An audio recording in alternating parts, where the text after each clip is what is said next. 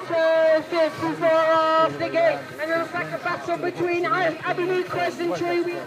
They're apparently for that first place, but here comes Esme Brooks. She's pushed the, the way through to the... Second place. On, Troy! Oh, she's gone a lot better, mate. She's so much more confident. Yeah. she do this on the track. Go, on, Mills! Go on, Millie! That's brilliant! George Beaumont, he's there for, and Liam Willett five. He's in the one that's Come around this last racing rider. Troy Reaver, he's going to take the win.